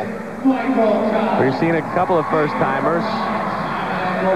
Kevin Scott of Canton also got on the score sheet for the first time in the gold column. An 18-point lead. Goal comes at 9.08. And another wave of blizzard coming forward.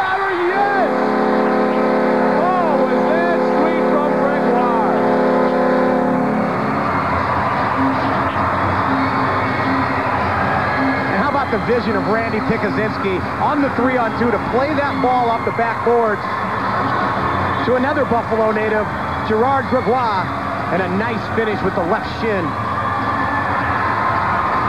Four assists for Randy Pikuzinski.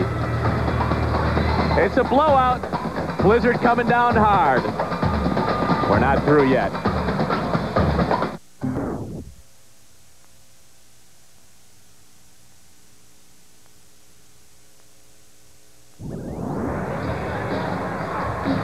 It's not that bad.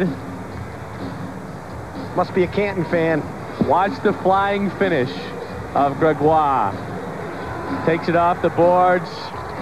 Struck it well. It comes 29 seconds after Maisner's goal. Gerard, 25-year-old from Buffalo. It's been a rough weekend for the Canton Invaders. They have given up 72 points over the three games here. And you saw that youngster asleep. I called that goal off his left shin, and he hit it with his inside of his right foot. He's not the only one sleeping.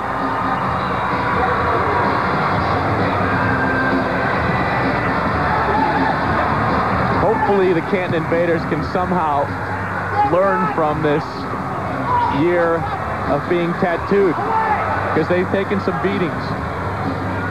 Well, there was an article in Soccer America, and Denzel was quoted as saying he was thought he was a little naive coming in the season, thinking that he could go get local talent and win in this league. And he said that's the one thing that he's learned. Hard to replace all that experience. Denzel has two years left on his contract as a player coach with the Invaders and refuses to give up. He's optimistic that just a player or two can turn this team around and get them up into the area of third or a solid third or fourth place team by next year. Well, a player or two, but it's got to be a veteran player, someone that can help these young kids along. If nothing else, these kids are getting playing time. And there's a lot to be said for that. Shannon Murray with a left footer from the three-point arc. Robin is actually, I think he ordered a pizza. I saw him on the, I, I saw him on the phone down there.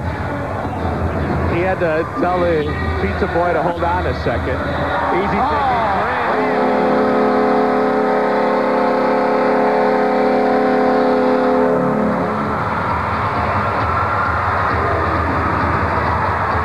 Paul Dougherty on the assist.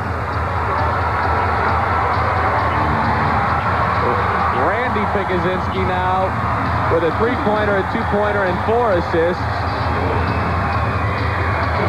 Watch the move, Art.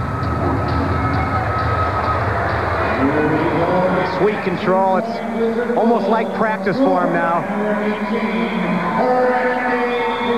29 to 7.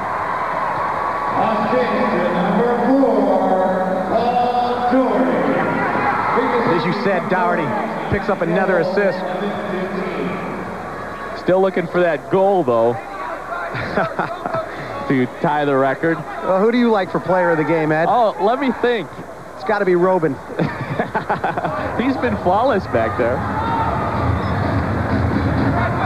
I think uh, good old number four as a hands-down winner, although you could make a case for Randy, too.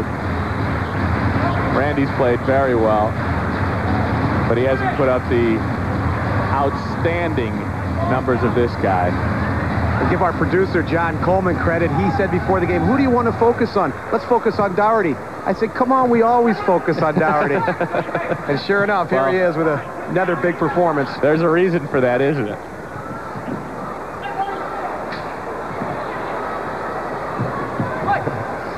Michael Collins also has been superb for this match.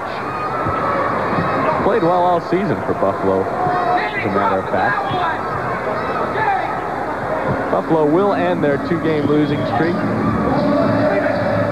Harrisburg in Chicago against the Power on this same day. So at the very least, they won't lose any ground to Harrisburg. Dayton and Kansas City playing as well. Could put some ground between them and the Dynamo. And Buffalo at 29 points here this afternoon. I know they scored 30 against Baltimore earlier in the season in a road win. Looking to top that 30 mark here again this afternoon.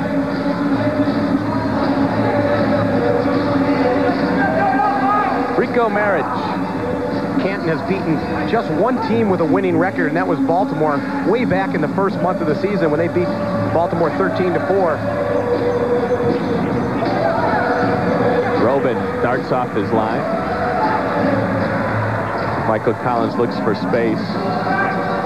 Finds it. Nice pass. The Doc will go to work in the corner. Rockets one at D'Amico. And they'll lay it out on the right side. Coming down to a minute to play. Shannon Murray, one of the bright spots for the Invaders today. Give and go doesn't work.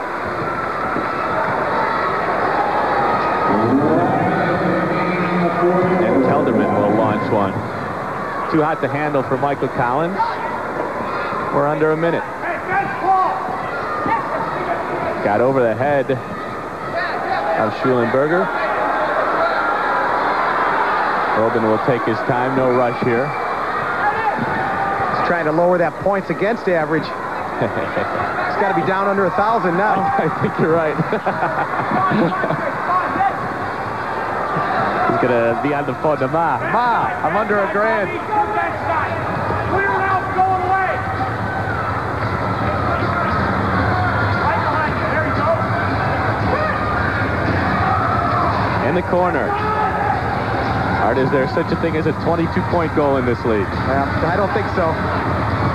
Kick the side by Robin. I think that's when you score from the second balcony.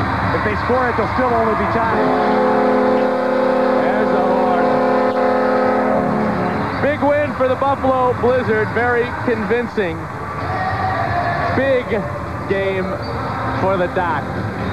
All-star Paul Dougherty doing it every which way. 29-7 is the... I think convincing would be a good way to describe Buffalo's win over the Canton Invaders as they run away to a 22-point victory. Here at the Aud, the workers are very busy tearing down the AstroTurf, getting ready for a hockey game this evening. The Buffalo Sabres and the New York Rangers battling this evening on the ice, but uh, no matter how they how hard they work out, I don't think they can match the show of Paul Dougherty today. No, it was definitely the Doc show here this afternoon in Buffalo as Dougherty with seven goals, a team record. He joins us now after the game. Paul, congratulations, a big afternoon. Thanks, Ed. Um, tell us about it. What happens when you just start lighting it up like that? Um, it's, hard, it's hard to explain, really. You get into a bit of a, a mold, and you know, you just keep concentrating. That's basically it. You don't start messing around, and you don't change anything. You know, just continue the, the way you, you're playing at the at the time. You know, Paul, uh, if you look away from your in- individual statistics for a second, this was a win you guys really needed badly. Yeah, we lost the last two games, uh, and we're really disappointed that we haven't still come away with two out of the three wins this weekend. And uh, you know, we were desperate today, and luckily enough, we played a team that was uh, a little bit tied there, and uh, we had home field advantage, so our legs were a little bit more there than than theirs probably, and they were a young team. But um, you know, it was desperate that we won today. But we still got some ground to make up. Well, Paul, Doc, go ahead. Doc, we're going to look at a goal of yours, but tell us how it is to play those three games in three days as we take a look at your shootout here. But it's got to be tough. You didn't get in until 5 in the morning, and do you feel any differently? Obviously, you feel a little bit more sluggish the third day, but tell us a little bit about that. Um, actually, my legs felt good today. Surprisingly enough, you'd think it was uh, pretty hard, but I took only a little bit of sleep last night. Didn't want to sleep too much, and I think you know benefit from it. Sometimes if I sleep too much, my legs feel a bit dogged. So um, I'm very surprised how much energy out there the lads had, and uh, you know probably because we were in front of our home crowd, maybe because it was on TV a little bit too. But uh, you know we look fit out there. Paul, give us your take on uh, the Canton Invaders right now. Obviously, a team that's struggling, and uh, when you get into a game like this, you know they they've got tattooed this weekend. Do you sense any uh, giving up the ship from them guys, or were they fighting hard the whole time? Well, I think they're a young team and, and they're out there getting playing experience that maybe they wouldn't see as much time at other teams. So everyone's like playing because they're playing on enthusiasm because you know the, the first most of them it's their first uh, season in the league and uh, you know they're showing a lot of enthusiasm. I mean, even today they never stopped because you know they had to play for themselves and, and to improve and, and, and that's they had too maybe they had too many young lads out there today and not enough experience but you know they'll learn and, and uh, they've got some good players Well, Doc, you had a, another big game. You moved from 11th to 6th in the league scoring, past a bunch of guys are right now behind Wes Wade, sitting in there with 120 points. Coming down the stretch here, going into the playoffs, do you have any preference in who you would like to face? I know you guys have struggled with Cleveland the last couple of years. What's your thoughts on that? Um, yeah, obviously Cleveland uh, have had our number last couple of years, so. Um, but then if we don't play Cleveland, it's it's a big gap between us and not playing Cleveland. So it's going to be difficult for us to, uh, you know, Baltimore and Harrisburg are fighting out right now, and they're winning games, and we're dropping games. So um, it looks like we, unless we hit a, a, great patch, we're going to be facing Cleveland. So, you know, we've played them before. You know, this time, it's, hopefully it's going to be differently. Uh, you know, they're a good team. You know, they can be beaten, but you know, we've got to work hard and we've got to, we've got to get our team together and we've got to start playing consistently and we've got to start playing on the road also. Paul, one more question before we let you go. You guys have to do the same thing again next weekend. It's another three-game and three-day weekend, and against some teams in your division. You guys don't have a chance to let up. Yeah, it's pretty rough that we played two, three games in consecutive weekends. Plus, we're on the road for a couple of games next week. But you know, it's part of the part of the job, and there's a lot worse jobs out there, I'll tell you. Right. Paul, thanks a lot. An absolutely brilliant afternoon. Congratulations and continue success. Thanks, Ed. Thanks, Al. That's Paul Dougherty, all-star midfielder forward for the Buffalo Blizzard, and he lit it up today. We'll take a break and return for some more.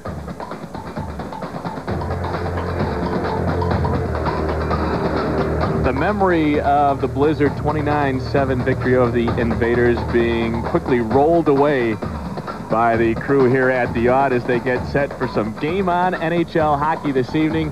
Buffalo Sabres taking on the New York Rangers, and I can guarantee you one thing, you won't see as many points in that game as you did in the NPSL, a 29-7 victory. Paul Dougherty had the great game this afternoon, and he joins an elite crew. Yeah, Dougherty was seven goals, a team record for Buffalo. And you look at the great games around the league this season, and Hector Marinaro owning three of the top five spots, and Dougherty moves into that number four slot. And, you know, one of the things about those great games is the Canton Invaders have been involved in that a couple of times. The 18 points that Hector Marinaro scored, also on the deuce against the Invaders. Carlos Ledesma also with the Invaders, and now Paul Dougherty. Uh, he had a great afternoon, and uh, some other guys on the team had a great afternoon as well. Yeah, Randy had a big game, and surprisingly, Rudy held to just one assist, but he kick-started him there with that early assist to start the game. You know, a big blowout for Buffalo. Uh, it's not been foreign to them to do that to other teams teams here at the Aud as we take a look at some of their huge victories here in Buffalo. That's right. They've blown some teams out. As you can see, look at the shutout there by Meola, 23-0 against Dayton. And then here today, 29-7 against the Invaders. Now, with that victory, the Buffalo Blizzard moved to within a game of 500 at 15 and 16, kind of solidify their position in, in fourth place, although uh, there's a lot to go. They've got nine games remaining, but uh, a victory after two losses in a three-for-three weekend is big. Well, in those final nine games, they're going to play the top four teams in the league six times before they head to the playoffs, so they're going to know right where they stand once that playoff spot comes.